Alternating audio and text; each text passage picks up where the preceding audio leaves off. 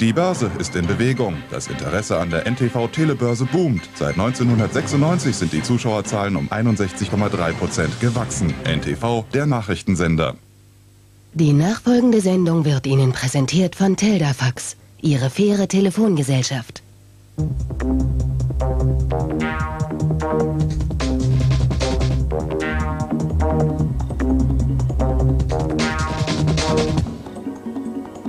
Tomorrow, das Magazin. Herzlich willkommen zur Wochenausgabe unseres Internet- und Telekommunikationsmagazins. Unser Schwerpunktthema heute, sicheres Bezahlen im Internet. Ob mit eCash, Cybercoins, Geldkarte oder per SET. Viele Systeme werden erprobt, doch keines konnte sich bisher wirklich durchsetzen. Außerdem Internet aus dem Strafvollzug. Doch nun zu unserem ersten Thema. In unserer Porträtreihe erfolgsversprechender Multimedia-Agenturen stellen wir Ihnen heute das junge deutsch-amerikanische Unternehmen Blackson Interactive vor. Es ist auf die Entwicklung von 3D-Welten zu Marketing- und Verkaufszwecken spezialisiert. Wenn die griechischen Götter auf die Erde hinabsteigen wollten, schufen sie sich gerne menschliche Stellvertreter, Avatare genannt. Als des Menschen Stellvertreter in der virtuellen Welt des Internets will Black Sun Interactive die Avatare etablieren. Basierend auf der Programmiersprache Virtual Reality Modeling Language erschaffen 30 Mitarbeiter in München komplexe dreidimensionale Welten, in denen sich die Figuren tummeln können. Spielerei für die einen, gewinnversprechende Zukunft für die anderen. Alle Experten sind der Meinung, dass 3D die 2D-Bildschirmoberfläche ablöst. Und äh, interessant wird 3D letztendlich auch dann nur, wenn Kommunikation möglich ist in diesen 3D-Welten.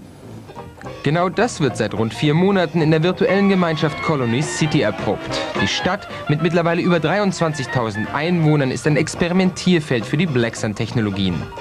Jeder Einwohner kann sich einen Avatar aussuchen und dann mit den anderen Teilnehmern chatten.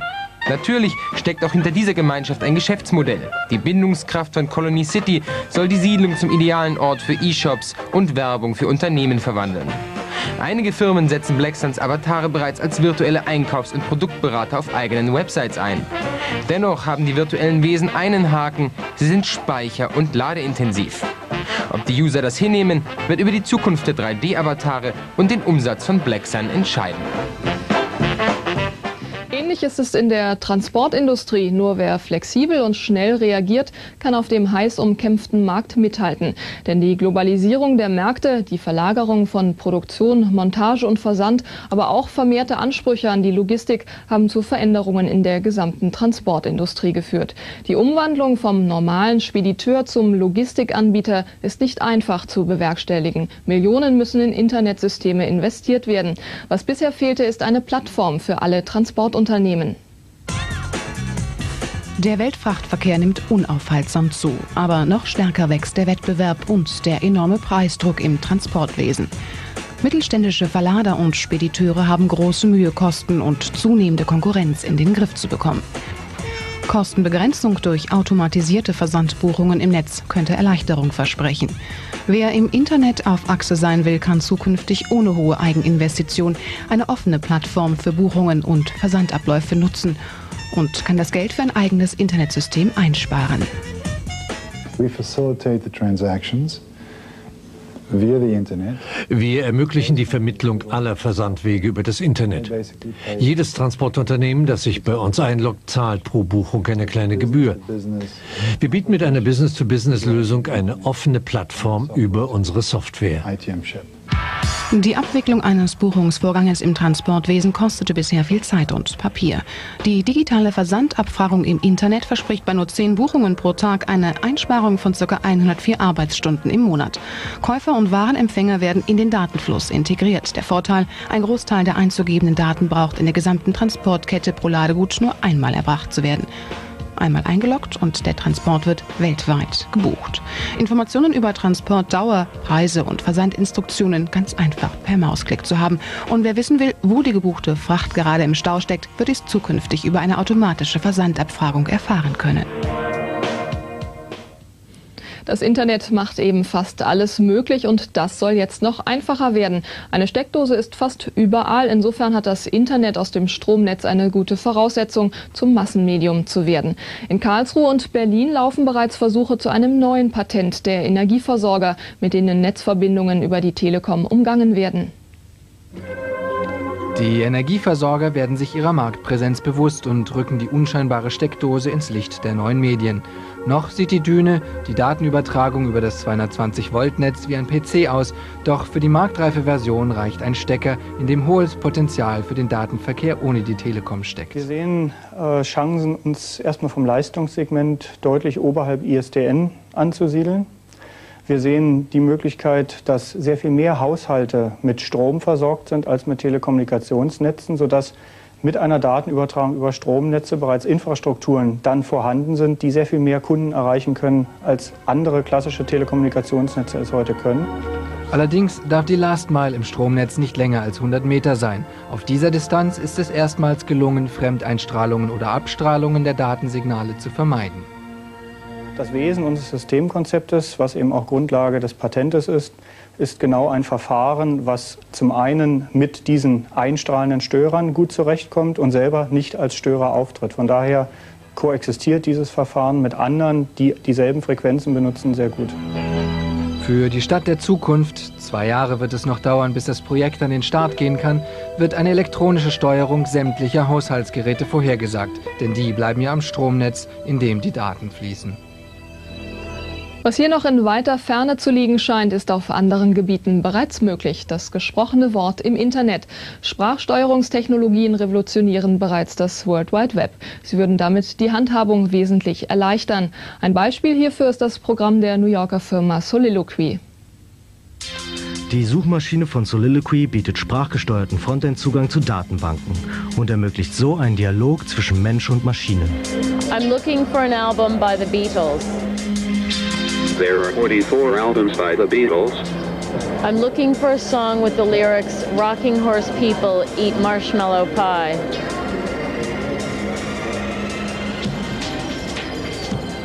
The song you are looking for is Lucy in the Sky with Diamonds. It can be found on Sgt. Pepper's Lonely Hearts Club Band. Do you want to hear the song? Yes.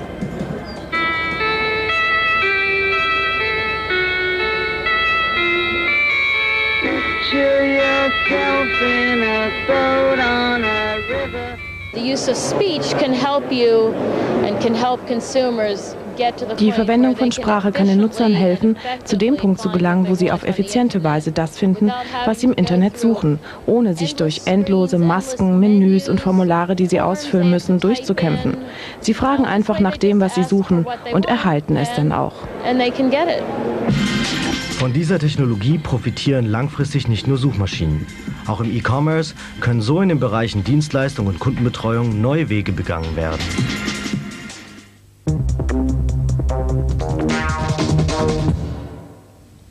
Content Stream, unser Schwerpunktthema heute. Bezahlen im Internet, der lange Weg zum sicheren Online-Einkaufsbummel.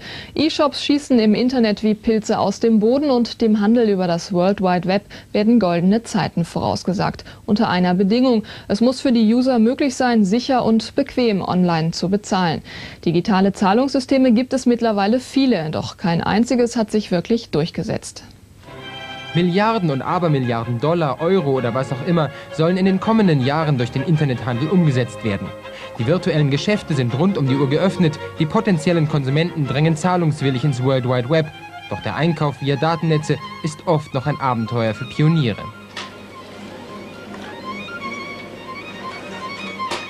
Bequem und im Internetmusterland USA weit verbreitet ist das Bezahlen per Kreditkarte, bei der man nur die Nummer und das Verfallsdatum des Plastikgeldes angeben muss. Doch das ist riskant. Der Shopbesitzer könnte ein Betrüger sein, der angebliche Kunde mit der Karte eines anderen bezahlen. Um das zu verhindern, hat man sich auf das Secure Electronic Transaction Verfahren kurz SET geeinigt.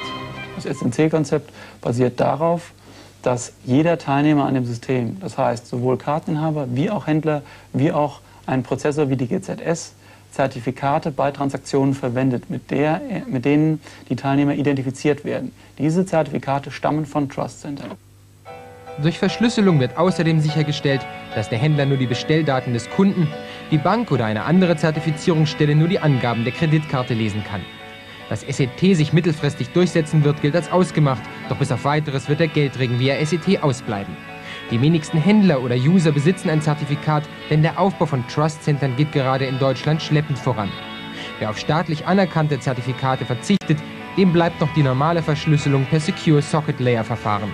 Kreditkarten im Internet lohnen sich aber nur, wenn der User teuer genug einkauft. Wirtschaftlich gesehen ist es natürlich schon so, dass eine Kreditkartentransaktion mit höheren Kosten im Prozess verbunden ist als spezielle auf Kleinbeträge ausgerichtete Zahlungsmittel.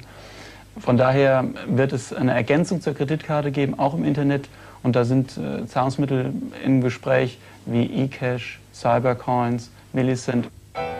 Die Deutsche Bank führt seit rund einem Jahr einen Pilotversuch mit eCash durch. Dieses virtuelle Geld wird vom Bankkonto des Users abgebucht und lagert dann verschlüsselt auf der Festplatte des Home-PCs. Soll eingekauft werden, erscheint eine elektronische Börse im Browser, die zuvor als Software vom User installiert wurde.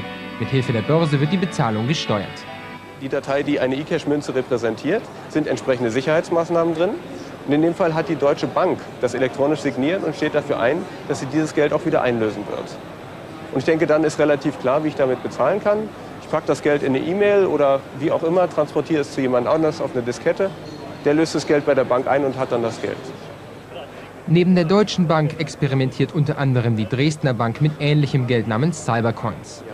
Beide Verfahren haben allerdings den Nachteil, dass man ein Konto bei den Banken haben muss, die mit ihrem Cybergeld natürlich neue Kunden an sich binden wollen.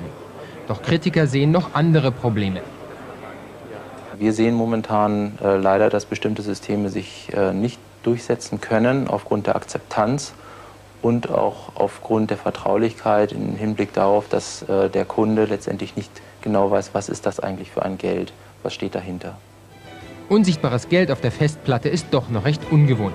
Dieses Problem soll mit der Geldkarte vermieden werden, von der in Deutschland bereits rund 45 Millionen für den alltäglichen Zahlungsverkehr im Umlauf sind. Man steckt es dann eben nicht mehr in das Gerät neben der Kasse, sondern man steckt es in einen speziellen Schlitz an seinem Home-PC und überträgt die vorbezahlten Beträge, auf, die auf dem Chip gelagert sind, einfach über das Internet zum Händler, der seine Waren im Internet anbietet. Doch so einfach das klingt, für den alltäglichen Online-Einkaufsbummel per Geldkarte ist es noch zu früh. Denn Kartenlesegeräte am PC sind für den Zahlungsverkehr in Deutschland noch nicht genehmigt. Irgendwann im nächsten Jahr könnte es soweit sein und die Geldkarte auch im Internet zum Einsatz kommen. Welches Verfahren sich durchsetzt, werden deren Förderer in Bank und Wirtschaft und ein bisschen auch die User entscheiden. Eines ist aber klar, ist das Zahlen im Internet erstmal ein Kinderspiel, ist es vorbei mit den vielen kostenlosen Angeboten im World Wide Web. Ganz andere Probleme haben die Insassen von Gefängnissen. Die Abgeschlossenheit und die weltweite Informationsplattform des Internet könnten kaum gegensätzlicher sein. Aus der größten deutschen Justizvollzugsanstalt in Berlin-Tegel kommt die erste deutsche Gefängniswebsite. Von Insassen und der Akademie Schloss Solitude gemeinsam entwickelt, ging die Seite vor kurzem online und bringt den Gefängnisalltag sehr nah. Das Internetprojekt Planet Tegel nimmt selbst Netzbesucher gefangen. Auch wer sich nur ins Gefängnis einklickt, durchläuft eine genau geregelte Prozedur, in der sich Innen und Außen schnell polarisieren. Die streng gestaltete Oberfläche, vor der manche Firmenpräsentation erblasst, greift interneteigene Begriffe auf und transportiert sie ins Internetgefängnis. Wir stellten recht schnell fest, dass es zwei Bereiche sind, die gegensätzlicher kaum zu denken sind. Und sofort war auch der Reiz dort, äh, dieses Projekt zu initiieren, mit Gefangenen in der JVA Tegel ein, ein Internetprojekt auf die Beine zu stellen. Eine Gruppe von Insassen tritt über das Netz ans Licht der Öffentlichkeit, wirft in der sehr persönlichen Darstellung des Alltags aus dem Gefängnis Fragen auf, die Selbstverständlichkeiten aus dem Informationszeitalter schwinden lassen.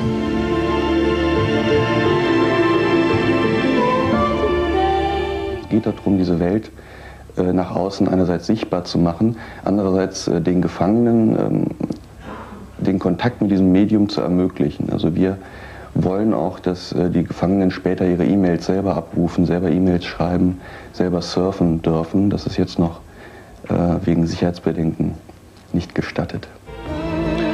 So öffnet das Internet zwar das Tor ins Gefängnis, doch das Fenster nach außen bleibt für die Gefangenen verschlossen. Der Planet Tegel bleibt für dessen Bewohner einstweilen offline.